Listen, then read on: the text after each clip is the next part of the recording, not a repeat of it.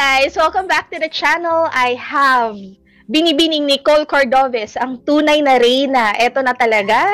Push na push na natin to dahil uh, sabi nyo nga kailangan merong mga bigating pangalang sa channel ko at ito na isa mga bigatin. Hi Nicole, how are you? Bigatin. Di ako gaganyan kasi laki ng arms ko. Hi! So, naglipat channel naman tayo this time around because last time, sila yung nag-guest sa channel ko. Binash ka ba dun? Ay? Binash ka ba dun ng todo-todo? Yeah. Yeah. Bad attitude, te. hindi ka ba, hindi ka ba ni nervyos na itong... Ay, wala, wala nang tanggalan yun. Ang ganda ng hair mo ngayon, Nicole. Bakit? Ba't ko siya gusto? Today, kasi I had a meeting a while ago as well. So I was like, okay, masusulit yung effort. Pero umulan, so naging humid, so ganito na siya. Bakit ganyan yung ina-achieve ko? Parang hindi naman nangyari. Parang kumulot lang siya in places na hindi dapat siya kumulot. I won't even ask you to expound on that. Okay. O sige, come on. Nakikita mo ba to? Yung Usap namin yung... Ombre. Ombre. Ombre, pero tatlong colors. Oo, okay, sobra. Eh. Ay, hindi. Color blocking. Color blocking. well, let's take it to another level. Good. So, yeah. punta muna tayo sa Binibining Pilipinas. And everybody knows naman na na-push ka sa Binibining Pilipinas because of your lola, because of um, yung kagustuhan niya na mag-pageantry, pageantry ka, which I find really very unusual. Super unusual. No, actually, diba? baguhin mo nga spill mo sa Miss Chinatown yon. Ay, yun na nga. Pero na-push ka kasi, kasi magbinibini. Ayaw na niya ako sumali, di ba? Ay, oo pala. Ayaw ka na niya sumali. Pero kasi bakit? Nanalo ka naman. Ano, baka iba daw yung kalakaran, di ba? Kasi I think yun naman yung fear lagi ng mga tao sa pageantry. Na you don't really know yung magiging result. Tapos syempre the stakes are higher pagkakapamilya mo.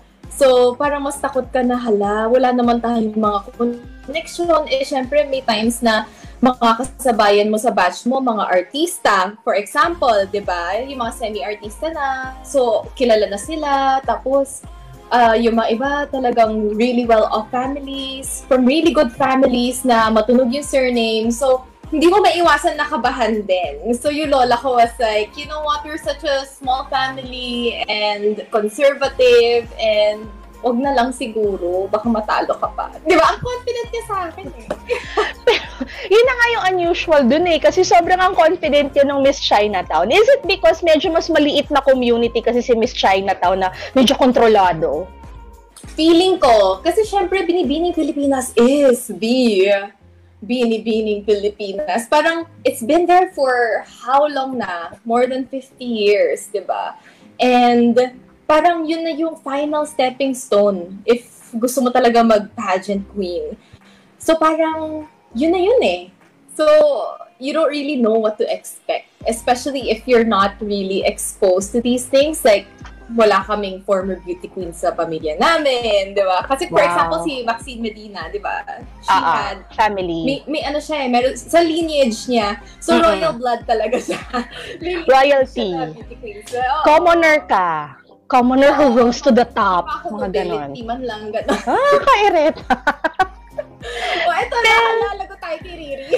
Kaya nga, eh, eto na tayo. So, pagdating mo din ngayon sa Binibining Pilipinas, um, may sumagi ba sa isip mo na parang wait muna, mag-miss Earth muna ako or mag-miss World muna ako? Kasi di ba usually, bago ka magbinibini, medyo mag-iisip ka muna o talagang push na push ka ng magbinibini? Actually, I wanted Miss World. Oh, bubuhayin mo ang mga gusto nila. Yeah, I, kasi may Oxford debate sila about happy, does it send the right message, is it still relevant?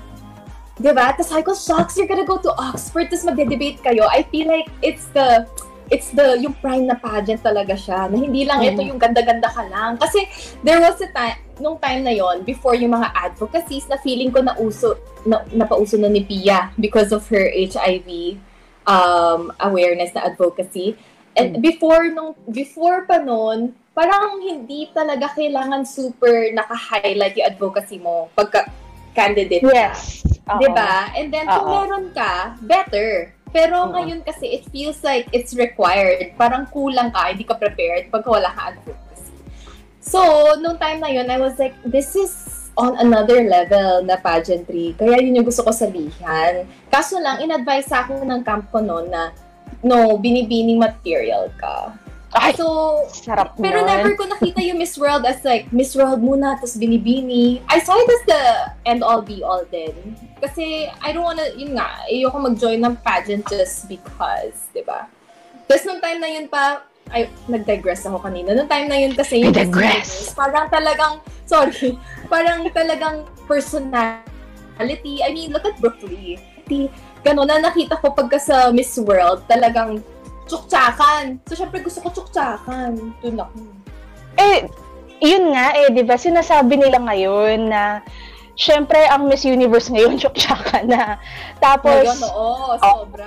so maraming masama ang loob, bakit hindi ka pa rin sumasali? Bakit bakit hindi pa umulit? Once and for all, pakisabi na nga sila, ano bang rason mo? Bakit ba ayaw mo sumali? Ah. Paulit-ulit eh. Kasi ayoko. Diyos. Kasi ayaw mo. Kasi ayoko. Ah. um, paano ba? Eh, Sorry ah, nag-iisip ako ngayon kasi parang I usually go for the summarized versions of my answer. Mhm. And kasi, syempre friends tayo, alam mo, nachika ko na sa'yo lahat. Yes. So, parang, okay, where do I start?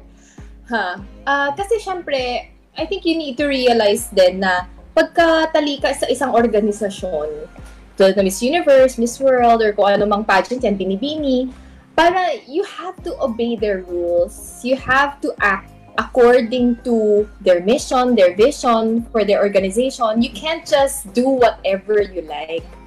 So, Mhm. tas ang daming paalam process. It's a long Ayaw process. magpaalam actually. So, nakita ko yung magiging limitation mo rin as a beauty queen. Pero it I needed that before. Kasi who was I before, di ba? Mhm. Pa, ano, I was a government employee, di ba? Or corporate girl ako. So, wala akong platform tulad na ngayon.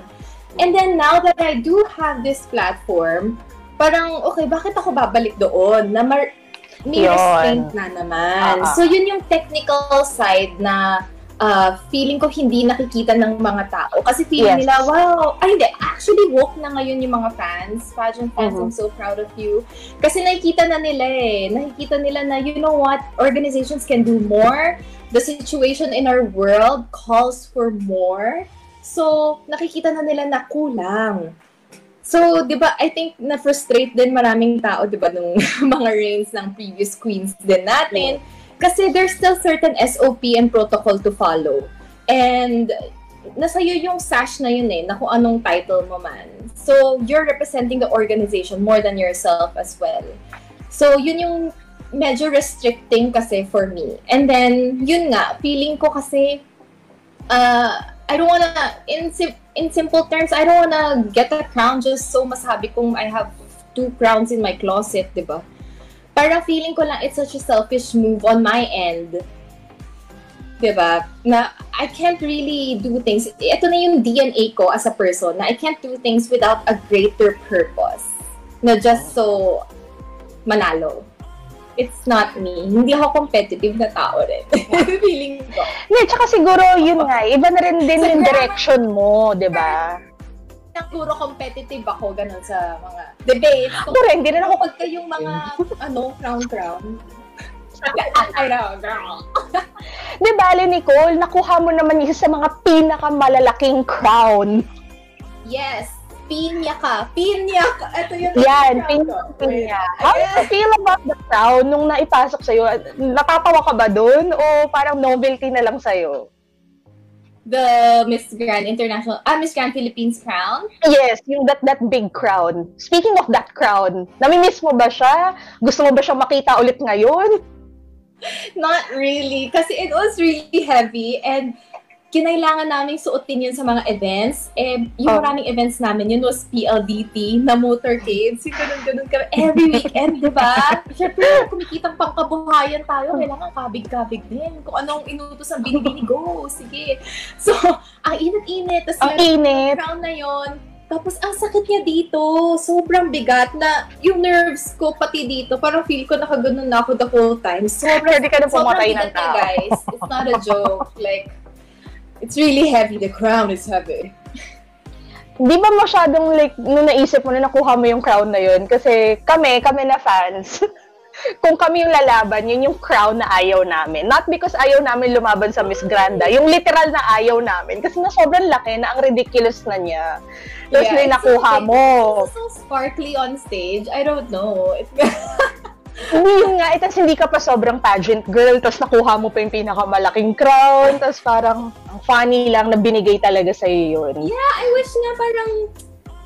Kasi, kasi narinig ko yung story ni Angelia din on yung Hmm. Miss Earth Crown and how it's like one um, element ba or something. Yes, Parang yung mga stone from stones every nila country. ah, from every country, oo. Yeah, ang ganda lang na story. Si sana Hmm. someday magkaroon ng ganun din yung binibini. Although kasi Eh. kahit aminin, kahit na hindi naman ganun kakagandahan ng crown namin, coveted siya. Most coveted crown. Oo naman. In the world pa nga yan, isa sa mga um, inaabangan. eh. At speaking of sana magkagaroon ng binibini, tapusin mo na nga tong speculation na to, nakakaloka. Bakit nga ba daw, tinanong ito ni someone, someone, bakit daw pageantry redefined? Paulit-ulit, hindi ko na alam anong isasagot ko. Meron na ba tayong um, official spiel kung ano yung mga roles ninyo dahil kailan lang naglabas kayo ng photo ni Kat? Kasi gusto nila ikaw na mag-take over. Paglabas ng photo na yun. Yes. We shot that kasi um, like a week or two before quarantine. If you saw our Mhm. IG stories with BJ Pascual, yun yun. Yes, of course. Yeah. Naka, nakabantay naman tayo, di ba? Yes. So, uh, na-delay yun ng na-delay. And then, I thought wala na announcement at all kasi wala pa namang date for that. And I think it's the last thing on everyone's minds din na magpa-pageant soon, di ba? Parang Hindi, hindi rin. Hinahanap din ng mga tao. Kaloka. Tapos, yeah, so definitely not national directors, guys. Um, Why? I appreciate, I, me and Kat, natutuwa kami na you're, para you see the potential in us, you entrust that we do have that capability to be national directors. Pero I really appreciate the presence of Madam Stella there. Uh, she's an institution and parang iba kasi yung nandyan siya, tapos iba yung alaga niya sa girls, kahit na strict man siya. eh, It's because you're under their, you're under their care. So they have to be really careful with you. They need to make sure na ano ka talaga. Kaya bawal din yung mga pasaway din na binibinis na masakit sa ulo. Kasi you're not gonna, hindi kayo magiging okay ng organization to work together. Kasi, no, seriously, kasi syempre may mga, mas ano na ngayon compared to before, siguro mas strict pa nga si Madam before eh. Pero ngayon kasi, alam, mas naging liberated na rin sila sa, sa pag, how they make alaga the girls. Pero, yeah, it, it's all like, yung ngayon timplado na siya. And given nga na hindi na super active si Madam, di ba? Pero pagka masyado ka rin pa-rebelde, parang ikaw na rin naman yung wala sa lugar. Di ba? Kasi you signed up with the organization and hindi naman sila, minsan siguro medyo feeling natin unreasonable, pero it's just like our relationship din with you parents, di ba? With our Friends. family. Yeah, na they, they- parang maganda naman intention nila. Mm-mm. So, meron na kasi talagang girls na talagang palaban, sobra. Naakala mo, di ba, sobrang Bad sobrang attitude ba? yung pinapagawa, di ba? Bad minsan attitude. parang Pagbigyan na natin. Anyway, Well- like yung pagka-ND kasi ni Madam, parang, alam mo yun, feel, I really do feel safe na siya yung nagli-lead ng organization. Kaya confident ako nung nasasali ako nun sa Binibini. Kasi there are, syempre, a lot of uh, mga nakaka... Yung mga issues from before, like Mhm. pageantry history, na parang, hala, yung mga myths na yun, coming from an outsider, di ba? Na paano yan kung lapitan ka ni ganito, ni ganyan, o Mhm. offeran ka na ganun, ano gagawin mo? So, with under, ano, the, under the wing of Madam, feeling ko we're so protected. Okay. Yeah. So, and, yeah, so, thank you so much to everyone na nagsasabing, yay, MD na sila. Yay! Bago hindi na. kami nagbabalak na maging national director. Hindi kami, ah, hindi kami nag-aambisyon din noon. siguro, I, and I think that it's something na that will only be earned through time. And uh-huh. we need to do other things then first before, kasi feeling ko, Kat and I are so involved pa rin right now, di ba? It's still so fresh. Pero through time pa, if ever na ibigay, ma-earn, ganun. Pero hindi kami nag, hindi kami undercurrent for that. well, I guess because, um, di ba ngayon may trend na kasi, so parang hindi rin natin maiiwasan na, you know, they think na kayo na yung next in line. Kasi may trend ngayon na a lot of the younger beauty queens are now taking over, hindi lang naman sa Philippine setting, pati internationally, nagiging yeah. national directors na rin sila. So, mm-hmm. siguro, al- well, alam din naman natin yung history with the Aranetas, um, kung sino yung yeah. possible nilang next in line, medyo, medyo vague pa, kaya siguro... Yeah. Oo. So, nung, nung nakita nila kayo, and siguro nung medyo um, cryptic din yung mga sinasabi ninyo sa mga captions, na isip nila na baka Woo! Kaya nga, ang dami namin nakukuhang messages. Ang funny Actually, pa ng iba. Namin, it will be pretty straightforward nung mm. release yun. Like, ah. pero nagulat kami na nag-progress to ND. So, like, hindi namin ina-expect na people actually consider us Di ba? As for an idea of, hindi talaga. Siguro kasi parang wala nga talaga sa intention namin. Alam mo yun? Parang wala. Pero now na naririnig nyo, ibig sabihin may clamor. I mean, I mean kung mag kung you know, mag-try silang mag um, invite ng young blood. So siguro it would And really you know, make kasi sense. how closed off Binibini is. Yun na nga. Like kung sino yung execom nila from kung anong year Forever.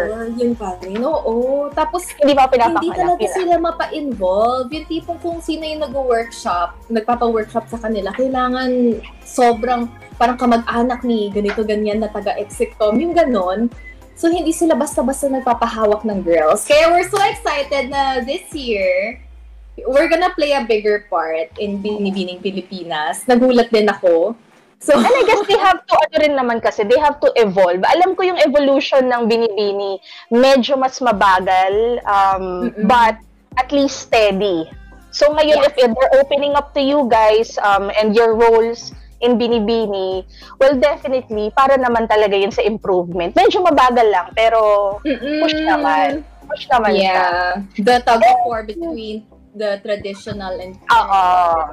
Pero at least, na-appreciate din yung, alam mo yon yung may foundation tayo of the traditional mm. as well. Kasi if Saka you go too much with the current din naman, Sobra. you end up listening to every suggestion, di ba? Parang, nawawala rin yung identity mo. Parang ganun din naman yung danger. So, yeah, may tug of war pa rin, pero na-appreciate ko pa rin yung classics. Yung classics. Hindi, pero gusto ko yung ganun eh. Kasi, 'di ba, um, ang criticism sa Binibini, they're so old school.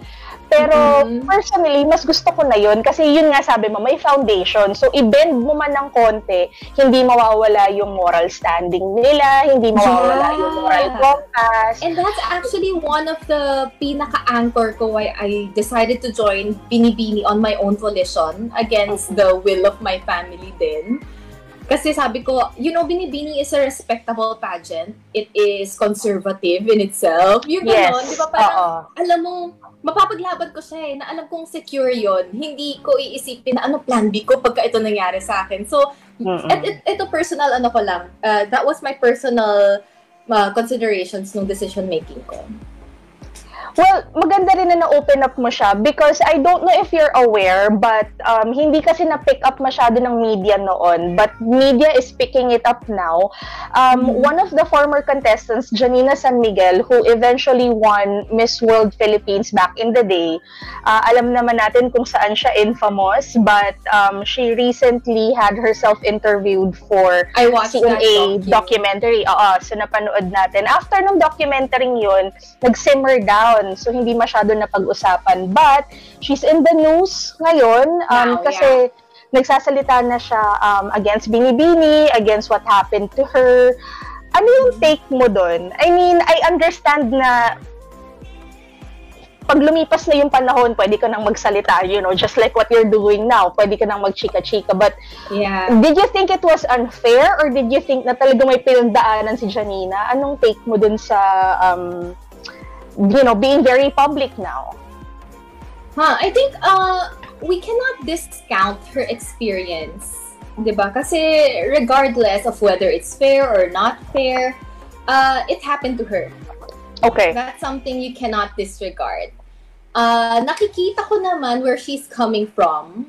And considering na she was 17, di ba, that time? She was 17, oo. She was 17, she was so young. So I can only imagine then Madam Araneta to be like extra careful. Yun na nga eh. Yun din ang Oo. ano ko dun eh, oo. Kasi Oo. palaki ako ng auntie ko eh. So naiintindihan ko yung yung struggle na gusto mong may gawin, magsalita, pero sobrang, dahil ingat na ingat sila sa mama ko, dahil hindi naman ako galing sa kanila, sa mama ko naman sila mag-a-answer. Siguro ganun din yung kay Janina, no? Oo. uh, yeah, we parang feeling ko there's still so much to be told actually. At may Mhm. anda na while watching the documentary na feel ko na ang dami pang follow-up questions na pwede pero hindi na itanong, 'di ba? Hindi na isama. Uh, to be honest, I I believe that nung yung situation na sinabi niya, 'di ba? I read from the article kasi syempre they kind of just extracted it from the documentary. Makikita mo, she said na there were there was an offer to make her a girlfriend, ganito ganyan. Yes. Uh, and then afterwards, she goes on to say na Binibini was so strict. Diba? So, Okay. parang it's a contrast in itself. Makikita mo na bantay sarado naman si Binibini. And, Mm-mm. And honestly, parang there will be indecent proposals. I, although I would say that I've never gotten one, I believe that times have changed. Why? hindi ko I feel like because when uh, men approach me, uh, they would see that, you know, alam mo yun, may barrier na. Like, Pero, di, kasi ngayon nababasa natin um, yung mga comments ng netizens. Um, of course, everybody will be pro Binibini kasi parang ang feeling nila parang it was an attack on Binibini. But now No that we're naman. reading about No naman, no? no Hindi naman. I think she told Mm-mm. two sides of the story. Uh, and that, those years, I feel like notorious yung ganong nangyayari. And to Mm-mm. continue what I was saying kanina, it's a different era now kasi the girls Sobra. Who join, a lot of us um, are capable. Alam mo yun, yung may jobs kami. Mm-mm. uh, meron kaming, we come from good families as well. Yung, yung well-off, kumbaga, yung tipong mapaprovide yung kailangan namin. So parang, tapos we can't deny that there will be girls na, like I said kanina, na, na kilala pa yung pamilya, na powerful ang family. So I think those people na nag indecent proposals, they would really think twice or thrice because they might be the daughter of your kabarkada or something. Weird. Diba? Oo. Hindi, tsaka alam mo, Now eh. sobra. Um, and people talk ha. These women now, they talk ha. I mean, they They talk. really utilize media. social You media. don't have to be, you structure before the power, di ba? Sa women. Before you need to know someone powerful to get a voice, to, para Yes. maniwala sa'yo, kaya nobody is speaking out. Ngayon, I'll post you. I swear, I'll post you. Lagot ka I'll talaga. post. Make a wrong move. Yeah, and then there are all these campaigns then. So, lagot ka talaga. so, feeling ko every, like, those people are more careful about it. Speaking of posting, Nicole, um, ang taas ng expectations ng mga tao ngayon, especially kasi trinay natin baguhin yung narrative ng beauty pageantry na we're not, we're not, kasama ako. Hindi lang tayo like pretty faces, queen. sexy. Hindi, kasi di ba syempre, nakakahon ng beauty queen noon. Kailangan sexy, matangkad, face value, body, lahat na. Pero ngayon, sobrang binabago natin na parang we're relevant, we have voices, we can speak up, we're educated, we're well-traveled, we can do this, we can do that. So, walk us through itong social media because it's so easy for the beauty queens to use social media for their own gains. And another thing is that uh, alam ko Kat and Pia are in hot water right now because they had um, several statements. Um, would you advise um, girls to be more vocal sa mga posts nila or would you advise them na kung hindi kayo masyadong kilala sa ganon, medyo mag-pull back kayo? Anong anong middle ground when it comes to posting and um, being very, very involved pagdating sa mga social issues? Okay, I don't have a right or wrong answer for this kasi you can't really be so black and white with this issue. Kasi for example, kahit i-encourage ng organization na girls, you have to post about Black Lives Matter, for example. Hindi mo makokontrol lahat ng sinasabi ng girls eh. 'Di ba? Because we have different experiences. We know the hullabaloo that happened last time. So you wouldn't know like what they would actually say.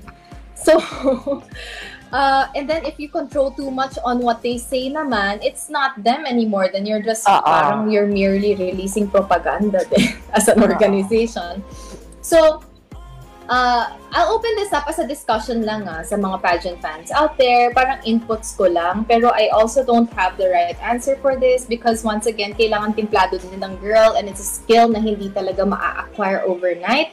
Mhm. Uh, maybe Mhm. not even with a few sessions. Uh, let's be more uh, siguro forgiving sa mga girls. Uh, okay, so let's start with Hindi, totoo. Gusto ko marinig yan. Ano ba yung may- ano, middle ground? Number one, you're co- you have to consider that these girls are still under an organization. Mhm. And before speaking out about something, uh, you have they have to consider the organization first. And lalo na kung walang initiative or directive your organization to post about it, parang maybe it's a sign na hindi ka encouraged to do so or maybe even Oh. discouraged ka to do so. Play by Tama. ear. Oo, okay. Sige. Tama? Oo. Oo. Yun lang oo. yung iniisip ko if I put myself in their shoes. Ha? Kasi feeling ko Mm. nung time ko, medyo golden years ng Philippines eh. Alam mo yun, yung mal- medyo hindi pa ganito na sunod-sunod yung issues. Di Oo, sunod-sunod kasi yung issue natin ngayon eh. Oo. So, kailangan nila mag-speak up. Sobra. Oo. Mm. Sobrang involved tayo. Yes. So, uh, on sa ganong paraan, feeling ko, the girls may not speak about it. Like, for example, super political. di ba? Kung too political talaga, ha? as in, guys, gets yun na yung grasp ng, ma- mag-grasp yun na yung too political na term. Um, kasi feeling ko si Catriona and Pia, they have real influence already Mhm. Like they're Miss Universe. So and they were asked questions about ano, legalizing marijuana, VFA, very relevant VFA. yun, VFA, 'di ba? Mm-mm. Yun yung Mm-mm. question niya ng Miss Universe eh. Oo. So I do think that they have the right, hindi they have, we all have the right, pero more of, mas obligado sila, feel ko. To mas say obligado something. silang to say Oo. something. Kasi you're Oo. given that, the highest position there. Oo. 'di ba? So, and they really did use their influence for Mm-mm. good. And nakakaloka nga kasi ang dami nagsasabi na hindi ba nila natakot na mawala na endorsement ganito? Yes. Oo. 'Di ba? Which is hindi ba dapat lalo natin sila ma-appreciate kasi kahit na may may ano na yun eh, may fact na, na paano kung mawalan nga sa endorsements or tanggalin sila sa whatever na position, they still do it because they're not doing it for themselves. They're not doing it para, ay, ako si Kat and I'm a relevant queen. Hindi ganun eh. They're really fighting for their countrymen.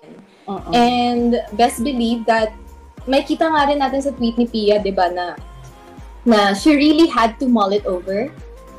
Hindi siya yung biglaan nag-tweet. Eh. Biglaan nag... Parang Oo. she was like, nag-struggle din siya personally. Mm-mm. 'di ba, na do I, should I say something about it? Is this the right time? 'di ba? Do I have the strength to face yung mga trolls? yung, yung backlash? Kasi we'll never Ready na ba ako? of- we're really a divided country right now, to quote Rachel Peters. so, diba? yeah, they do have that platform na, and I feel they're more obligated as candidates. If you don't feel, if you don't feel like you're super, um, like you, like meron talaga nagtatag sa heart mo. Alam mo yon Kasi hindi pwedeng, don't post something just because you're, you wanna be part of the bandwagon. It should come from a genuine place True. you can still channel your efforts elsewhere.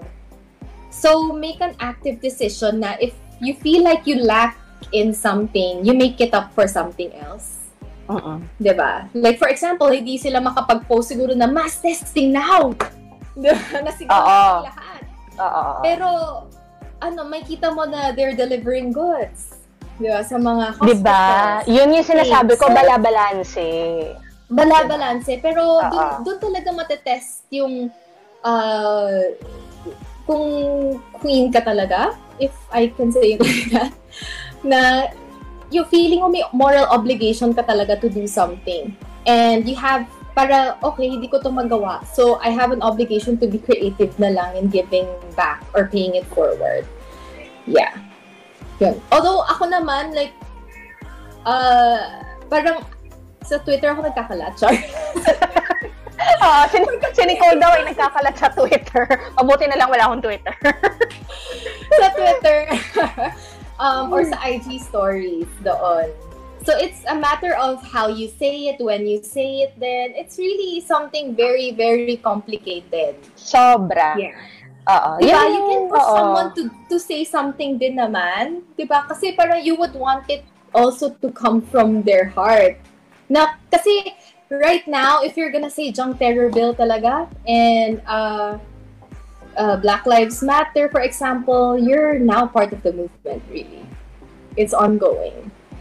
So, hindi siya yung tipong i-hashtag mo lang eh. You're involved. Kaya until now, parang there are times na nag, nag-text pa kami nila Kat na I'm still reading yung mga sa Twitter na ano, yung mga updates. Parang hindi, you can't get off of it. And Oo. and girls siguro just to um uh, give you some assurance then if you don't feel strongly like like kasi si Kathy Yes. will ask me like should I post na and I and I will say na if only if you feel strongly na okay kailangan ko talaga tong gawin di na ako mapakali Mm-mm. yon so alam mo kung pinausan niya naka ilang decision points na yan si ate girl Yun. girls, if you don't feel strongly about it, kasi we understand naman your situation din.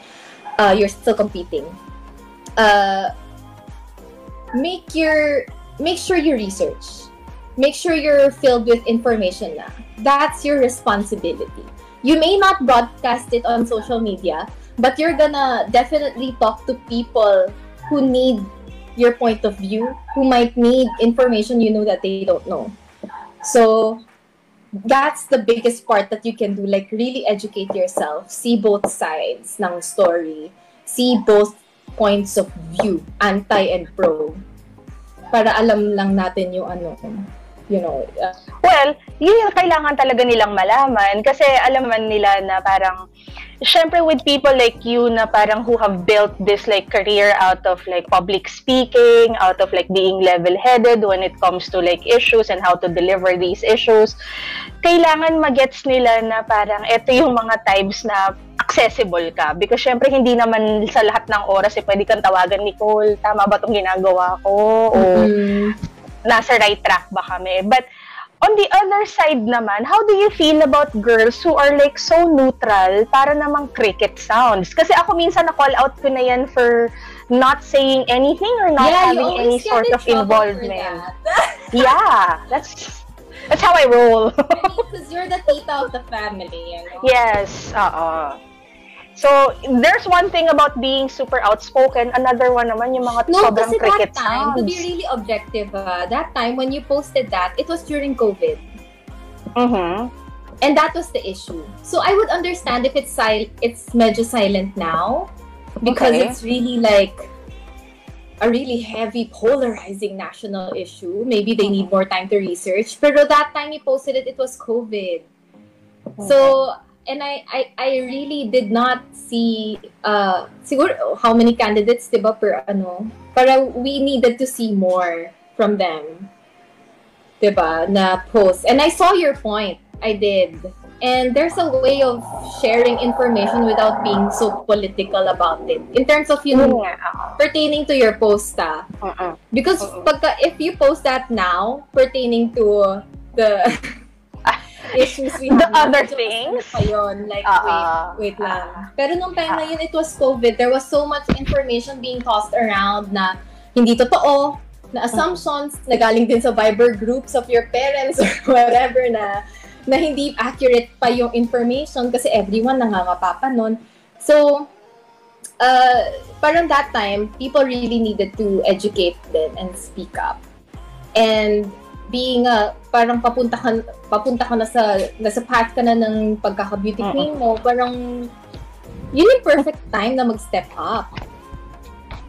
True. Kasi, naalala ko kasi nung time na yun, parang nang hinayang ako eh. Um, Siyempre, ayaw nila ng mga political Naghanga. post. Yan, okay na.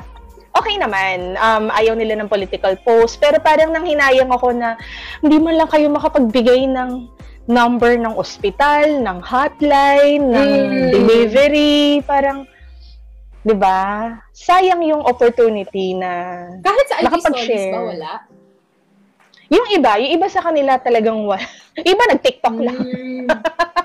ah, talaga? Ah, Hindi na kasi din ako updated. ayun. So, Yeah. So, for example noon, like yung nung COVID, hindi ako makapag, kunwari, prepare ng meals for frontliners kasi mm-mm. good for one lang yung mga, alam mo yon yung mga, mga ano tawag dito, sandok at kawali Oo. dito sa bahay. utensils. Scooter ko Ayan. pang one person lang talaga, Oo, like cute na cute. So para what I do is I donate naman to people I know talaga na nawalan ng trabaho. Eh, Wait, nawalan ako ng trabaho ah. Ba't di mo ako dinonate? ah hindi po, di yun totoo. trabaho ah. You're still writing articles for Freelance? Wala nga ako ayuda sa gobyerno. Visit na yung app yung beses mo pina-fill out. Wala akong ayuda.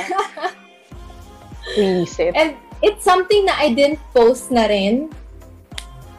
So, I don't know. Tapos, yung pinaka-post ko na lang is if I could, if I can be, if I'm able to share information, like siguro yung sa budget nga natin, COVID budget, and um, my conversation with the doctor, and what to expect sa new normal, and also students who uh, naggumawa ng paraan, di ba? So, parang share na lang ng information at most. So, that's just an example of how you can creatively still contribute.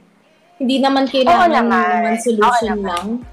At we need to be really creative during this time. There are so many ways naman din talaga eh. So parang, ako actually medyo promeno na rin ako bandang huli. Kaya sabi ko parang, oo nga, baka naman tahimik lang talaga sila sa social media, ayaw lang nila masyadong frou-frou, may mga ginagawa naman sila sa mga communities nila. Pero, yun nga, well, at least, um, that's out of the way. But, going back to the candidates, going back to those people na sasali pa lang ngayon, um, maganda kasi yung tipo ng example mo, at least medyo balance eh. Social media mo, meron kang social work, meron kang mga beauty stuff, meron kang mga pa-events. Um, for these girls na sasali ngayon, what are the posts that they need to steer clear of?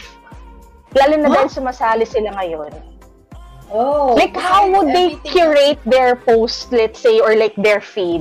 Kasi iba syempre yung galing sa amin, medyo old school pa nga ako. Pero ikaw na nagkandidata, um, ikaw na sumaling, ngayon na inaayos mo at least yung social media presence mo, ano yung mga dapat nilang iwasan? Ah, siguro, first of all, girls, uh, read the room. See the overall climate and environment first of the situation, di ba, before you post. I think that's a very big consideration, especially now. And then, I always tell my students this, that you need to be clear with your personal branding first before you set up your social media image because now social media is your pre first impression it's the first impression before the first impression oh. so mas malaking bearing in social media so upon joining a pageant syempre you're already responsible na dapat nagawa mo na yung homework mo na yun na ito yung advocacy ko, ito, ito akong taong to, like, I need to figure myself out, ito yung mga hindi ko pa na-figure out, because sometimes sharing your insecurities on social media is also very inspiring in itself, and I would also consider that an advocacy. 'Di ba? Hindi naman kailangan sobrang, alam mo yun, nasa field ka. Sometimes it could be, I, I actually, uh, I, I remember yung mga posts ni Elizabeth Clancy about her Mhm. skin. And Oh yeah, yeah. she oo. had to change her lifestyle. Siyempre, skin mo, Mm-mm. sobrang insecurity mo rin noon. Parang you can't really um, face yourself and face other people. So, Mm-mm. hindi siya super hardcore advocacy, pero dahil genuinely pinagdaanan niya yun, and she encourages people to have a healthier lifestyle as well. And it gives recognition na there are people who are actually going through this. That's already like impactful for me. Like, see, hanggang ngayon naalala ko pa yun. Diba? Diba? Hindi kasi, syempre beauty queen ka, tapos meron kang biglang skin issues. So parang maganda na it's out there kasi just like my interview with Pia, kahit na nandyan sa inyo lahat, the dermas, the gyms, kung hindi ka magpupursige para ayusin mo yung sarili mo kahit na nandyan lahat ng resources, wala rin naman mangyayari sa'yo. So yung kay Cleansy That's noon, magandang idea rin naman na parang it's a little part of her life, pero as a beauty queen, we're all like, Yeah, kasi di ba may mga tao din naman na iniisip na siguro hindi yan pinagdaanan ng pinagdaanan. Oo. queens. oo. Di ba? Parang feeling Oo. nila we're born perfect, but we're Mm-mm. far from it. Di ba? Ang dami Diba? Tatrabahuhin nyo talaga. And everything. So, yeah, sharing that part of you also uh, is good on social media. Yeah. So, pretty much yun lang naman yung tips ko for social media. Make sure, para decide ka talaga on your personal branding. Kasi kung hindi, mapapadala ka lang talaga sa mga TikTok, di ba? Para kung What ano about ano? na post mo. What about being like super sexy? Um, because a lot of you are models. So a lot of you also get to model um, hindi lang naman iisang klase ng aesthetic sa isang designer. Some of you Yeah. may get to model for like swimwear. How do you balance also being sexy and how do you balance also posting the jowas, the love life? Um, this is something na medyo Wait, iba yung prickly. sexy sa love life though. Let's, Yun na nga, I mean, how do you, let's ano ay, anong pwede mong i... that. Like, Oo, doon mo tayo sa sexy muna tayo. Oo, medyo sexy. Oo. Ako Bakit kasi personally, I'm not a ma-post na sexy. Oo. Pero meron. Meron naman. Pero Oo. hindi yung, hindi ako mag-post. ah, ganun. Okay. Oo. Yeah. So, parang ako, ka- check your intentions. Yun na lang Okay. siguro. Like, check your intentions. Like, ako, pinopost ko kasi feeling ko, pinagsakripisyo ko talaga yung pag-diet and workout. Alam mo yun? Ah. Yung na-control ko sarili ko. Cute ka nun eh. Three times a day. Huwag na, na. na kaya kong gawin. Oo. By the way. At magsinigang with three cups of rice. oh my Like, I gosh. can just Oo. let myself go like that. Pero, at some point, I held myself back and hindi ko ginawa yon So, proud, yung mga small milestones na ganun, proud ako. And, uh, syempre, kung preparing for a beach trip, di ba? Todo gym ka muna, ganun. So, yun yung intention ko doon. Pero, I respect also kasi yung mga, like for example, si Kylie, di ba, super sexy, sexy pose, ganon. Pero kasi, parang, ang sexy, and alam mong, nakikita mo nag-workout siya. So, hawakan in a non-pervy manner. you always say that. So, I hindi na know. ako. Yun na nga, parang sa hawakan, parang, you're so soft. Yeah. Were you boiled in milk? And classy pa rin siya. Alam mo yun? So, parang, why would you hold that against a girl din naman? So, it's really sari-sariling diskarte. Pero, syempre, there's such a thing pa rin as overboard. Okay. Especially naman. if, siguro, si Kylie naman kasi, for example lang, just to use it as an example, no? Kasi, una, pasok ko sinabi, sexy na beauty queen for me, Kylie, swear. Uh, we all wish we had her body. And the flexibility, by the way. Oo, kasi nag-pilates din Tapos- siya. Mm-mm. Tapos, uh, nung time naman namin, hindi, parang within Binibini standards pa rin siya, within Miss International standards. So, feeling ko, mas strict talaga if you're still competing or you're still reigning and then you have posts like that. Ah, Kasi you are okay. still, Oo. you still have a job. Okay, you're okay, still okay. in that job. Mm-mm. Gets? But True, after true, true. that, like, Anything goes na rin. At yun din, yun din yung, oo, yun din yung, Parang ano Pinupush bang ko sugat mo eh. sa kanya? Di Yun, Ano yun na nga. hindi, tsaka masarap sagutin yung mga tipong, wait, may corona ka na ba? Kasi siya meron na eh. Ah, okay. Mm, yung minsan sa mga comments ng mga medyo pasaway, what about yung jowa? Yung mga medyo laban na laban sa mga jowa nila. Kailangan ba medyo mag-pull back din sila ng very slight? Or... Guys, ang controversial ng question sa akin ni Lavinia, pero I'm gonna Yun answer it in this video oo. just because it's her vlog and she's actually soliciting answers from me. Yes. And Yes. I am in no way saying what's right or wrong. I'm not God. I'm not the Bible. You're just Nicole Cordaves. Ha? You're just Nicole Cordaves. Yes. And pero I hope na yung inputs ko will help uh, other girls decide din. Kasi sometimes Yes. maybe they're Uh-huh. just pressured to put something up, to post something, di ba? Or maybe they just didn't know what to post, they didn't know it's wrong. I don't want to crucify them immediately. Maybe it's just misdirected. Maybe they didn't think it would have that much of an Im- impact. impact. Oo, tama, tama. Especially Mhm. since hindi tayo pare-pareho ng kinal- pinalaki ng pamilya. Like, even the level of conservativity sa family ko, iba sa iba. Yung iba, hindi talaga Ah. pinalalabas sa bahay. Di ba? So, Ako yun, we can't, ano, we can't, hindi natin pwedeng ilagay sa isang kumot lang lahat. Di ba? Mm-mm. Alam mo yun, yung para masyadong dinidiktahan. Oo, oo. of At least, ano naman siya. ka kasi nag-apply ka to be a binibini. You apply to be part of an organization. So, it's more of that. Pero, if you're not, parang, who, who can tell you whatever? diba? Baka parents mo lang pwede magsabi sa'yo yan. Pero, kami out. Baka naman, oh, baka naman yung parents din okay lang din. Tapos tayo lang yung medyo mas conservative pagdating. Which is understandable kasi binibini, um, they, as a binibini, kailangan mo i-project yung values mo sa Pilipina. Alam mo, So, sobrang true yan. Oo. Oo. Sobrang true. Kasi nung nakausap ko si I mean- Tia kailan lang, yun din na Yeah. sinabi niya. Yung pagka-Pilipina, yung talagang brand ng binibini. Mm-mm. Although the So, the term Filipina has uh, evolved na rin. But there are still, like I been emphasizing kanina, traditions that we would like to keep. oo. oo. We don't And, totally oo. eradicate the definition.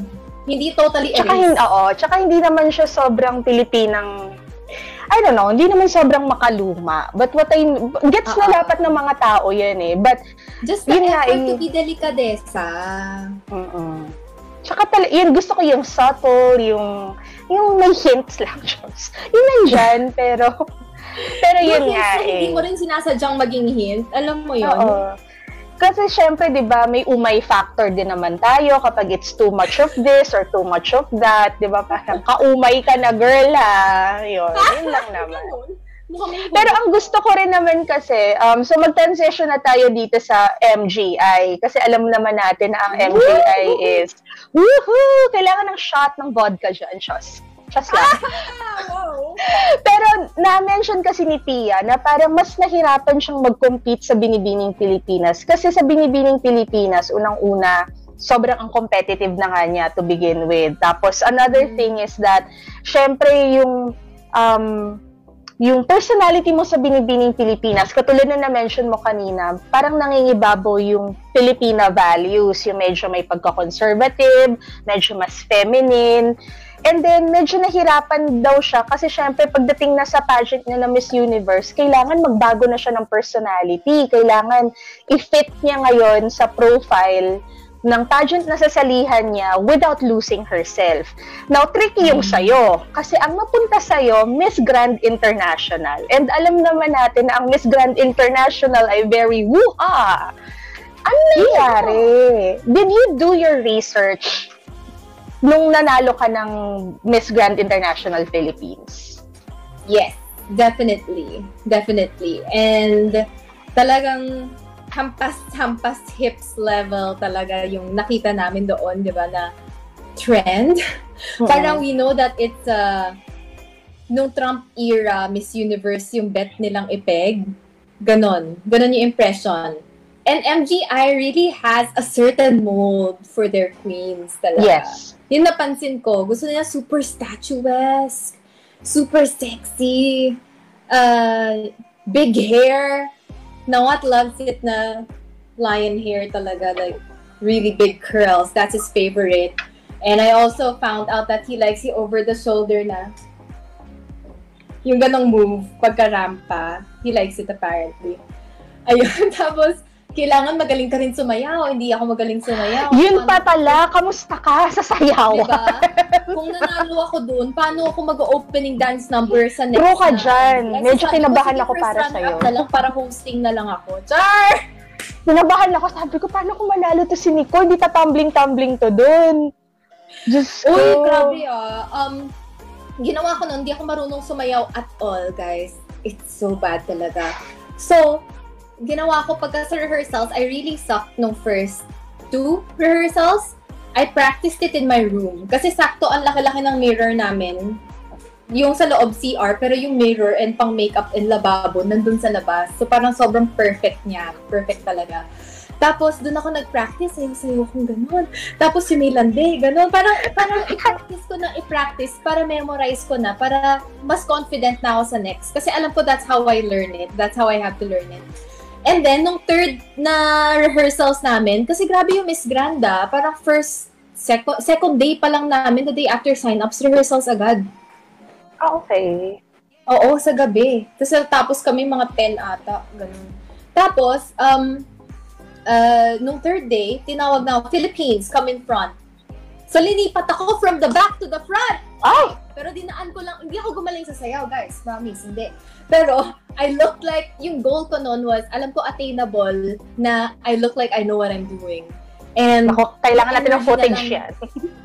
oo, Hahanapin yung footage niya. Dinaan ko sa energy, facial expression, yung gano'n na lang. Kung ano yung kinulang mo, punuin mo na lang ng ibang aspeto. So, yun ginawa ko. And then, voila. Front na ako. O, diba? Ano yun? Naka-boost ba yan ng... Kasi diba, alam naman natin na may peg sila. Pero sa Philippines kasi, even, af- well, actually after mo, but sa Philippines kasi, parang hindi natin magamay ano ba talaga yung gusto nila noon. Hindi natin alam kung um, ano yung feeling mo noon. Did you feel na parang medyo wait out of my league to in terms of yung the glamazon look or parang na-feel mo na parang no, we can do something about this. I can fake being a glamazon for this pageant. I felt the latter. Really. Ay talaga? Fun. Yeah, parang Magandang mindset. challenge. Oo, magandang mindset. Magandang mindset yun. Yeah. Kasi di ba, sinasabi nila, proportions ng mga Pilipina or ng Asians, hindi naman kasing laban na laban katulad ng mga Latina. So, maganda na at least yung challenge na yun, tinake mo. Like, hindi ka pumunta doon na parang, shit, parang hindi yata, hindi yata ako You don't have time time. to self-deprecate Mm. once you're competing there. Like the moment you land there, you don't have time for doubts. Nothing. Parang it's really just, yun na yun. Papanalunin ko to, ganun na lang siya. Pero nandun ka, sino yung striking sa'yo? Sino yung parang feeling mo, oh, shoot, ang ganda nito, ang sexy nito. Parang ang hirap kalabanin. Pero, Tapos ang bait pa niya, ang bait-bait pa niya. Nakakainis, no? Kapag yung mga taong mababait na nga, ang ganda pa, ang sexy pa. Parang, why? As in, super bait niya. I'm so lucky na she's my roommate that time. Tapos di ba nag-compete siya sa batch ni Maxine for Miss Universe? Mm, nandito pa siya. Nakakatuwa. Yeah. Sino pa ba? Si Madison! Talaga, striking si Mad. Why? Because yung pagka-blonde ba niya na parang, well, may, may term kami so siya. good eh. on stage. Ah, Like, she okay. looks so different on stage. Si And her personality is so amazing talaga. And that's something you can't learn. And there are a lot of pretty girls who, oh my gosh, and guys, ang dami kong kwento. there are a lot of girls na from the beginning, they're so sip-sip with the organizers. They have this facade of a good attitude and they would really position themselves as a front runner. But as the days go by, and habang eh, puro rehearsal pa kami noon, di ba? Ay, pagoda. Merong mga uma-attitude na. As in, as in, Ganun yata talaga eh. namin, my choreo was like, I will cut you. I will cut you from the dance. so, Yung talaga may, may threats. Oo, I will cut you off from the dance. Ganon. So, that's when I realized, at that moment, nung may mga pinapagalitan na girls, sabi ko, pageants are a test of endurance Endurance, no? ng character. Oo. Oo. Ng character mo. Mm-mm. Kasi you'll be really tired. You psychologically and physically you'll be hungry all the time because you know you're doing a lot of things and you just can't Mm-mm. keep up, 'di ba? Mm-mm. Pero we had buffets there all the time. Ah, so then- klinaro mo na naginutom kayo doon kasi may ganong chismis. Hindi naman kayo ginutom. Ah, hindi naman. Buffet kami buffet. every morning and afternoon din actually. Sobrang sarap. Ah, may times lang na siguro Thai salad yung isa-serve. They would order Thai food na take out for all of us girls. And I don't mind because I feel like I ate so much already that you wouldn't want to eat more. So, it's nice that you cleared that out. Kasi di ba parang before may chismis na parang ginugutom kayo doon. I think it was my my Snapchat. Because I was like, Ew, okay, we're just- Snapchat. we're waiting to eat, and then Ariska goes behind me, and she's like, "Yeah, we're so hungry." Ah, so parang na it out of misinterpret. proportion. Oo. And- Actually, nakaka... Yung only... I, I was never stressed in uh, any pageant. Yung nakaka-stress lang are the mga fans online. Mhm. Because, for example, that out of proportion, and you don't know Yeah. what to do about it. Like, would you clear that up? Or, diba? And then you... Kinda weird to bring it up, no? Yeah, it was so weird to bring up na, no, they are not starving us here. So, so parang, okay, papatulan pa ba to? Or do I just let it be? Kung nagsalita naman ako, it might make it more official. Mas, baka hindi pa nasagap ng organizers. Ako pa yung makapag-bring na attention. Nauna, oo. oo. So it's more of, I was doing a lot of damage control that time. Hindi lang yon may second pa na may issue. Kasi that was the time nung there was a day during the pageant when the king of Thailand died. Yes. And then there was an issue, I forgot what it was, but it was painting some girls, including me, I think, in a bad light. Ah, Baka masyado So- kayo masaya. Hindi rin eh. Hindi rin talaga. Kasi the mood really, you will feel that it was really down. Like, kasi syempre Thai organization yan eh. Oo, tama. Really. And they really love their king. Yes. So I'm not an emotional person, but I do observe. Like, I, I that's when I learned more. Abim, so, ganon. Pero hindi ako like yung emotional talaga na I would cry with you. Kasi siguro, pagka sa pageants kasi, medyo masusway ka siguro na, should I be emotional as well? Alam mo yun? Oo, Yung Parang tama. you really wanna please people eh. Pero. Wala. Ano, to each his own. And yeah, tapos ano pa ba yung mga issue nun? Ah, merong Pilipino noon na may Pinoy fan na nag-record. Nakalusot kasi sa balcony, nag-record. Mm. Nag-record yung rehearsal. Eh, yung, re- yung music doon copyrighted. Tapos, Oo. yung sa secret group nila. Okay. Pero may member dun sa secret, na siguro kasi in the understanding na, oh, this is a secret group. So, Mhm. this is for our eyes only. But someone na pasaway ata doon sa group na yon shared it and it spread. So, parang may pagbabanta na lagot yung si Girly pagka kung kaninong bansa. Kaninong ano siya, oh. Na ako kinakabahan na kasi ako yung one of the girls na madaming panis talaga na physically nandun because it was Las Vegas. So, kinakabahan ako. Al- Actually, alam ko na ako na yun. Yun. Tapos, dun, dun lang ako kinabahan na hala, baka hindi na ako ipasok sa top 10. So, may it's more of those factor. pageant controls na guys, Ah. siguro, be more mindful about that to the pageant fans. I know that we can get really passionate about um, Yeah. us. Pero uh, there will be, a, I won't even call the other ones pageant fans because they're really just haters. So they would just make issues Yeah. about girls from other countries. And then syempre yung fans natin will defend us. And then it just becomes this whole monster. So, so be mindful also that that could actually happen. So I think people just don't realize how it affects us because we don't really talk about it. And we don't want you to feel bad about it, but yun lang yung times na na-stress ako nung nagka-issues na ganun. Well, alam naman natin yung issue um, pagdating sa mga fans, katulad ng fans ng Philippines and fans ng Indonesia. In fact, tayong Don't dalawa. even go there. Tayong dalawa eh medyo suking-suki na doon. Um, kota, girl. Kota. sobrang kota-kota tayong dalawa. Just to clear it out though, kailangan ba na ang isang kandidata katulad ng sa atin at katulad ng mga um, malalakas na mga countries pagdating sa social media, kailangan ba yung kandidata mas proactive in reminding their fans to, you know, slow down? Kasi one of the things na kinakasama ng loob ng mga nag-aaway-away is that this queen isn't doing anything to um, you know, make things peaceful. This queen isn't Mhm. saying anything. Should queens actually say anything? Something? It depends. Okay. It depends. Yeah. Like gaano? Gaano ba ka crazy for them to say No, something hindi na? kasi naisip ko, the only reason why I don't retaliate is because parang it's like acknowledging that it's there. Mhm. Paano ba? Parang parang what if the queen doesn't want to be associated with that certain page as well?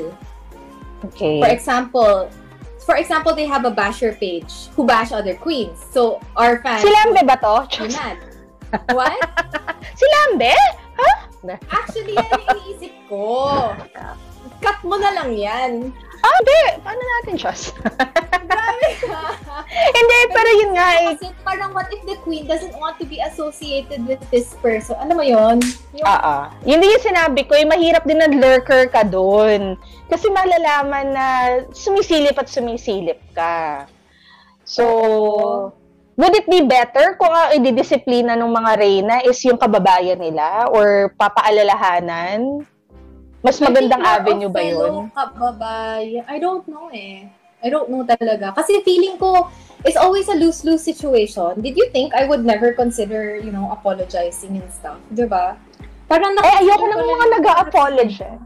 Just. Ha? Or ipasa na lang sa mga admins yung dirty job. No, that's so walang dignidad. Pasa nyo lang sa mga admins na makikipaglaban sa inyo. Hindi, it depends on the issue. Kasi for example, there are issues that are too petty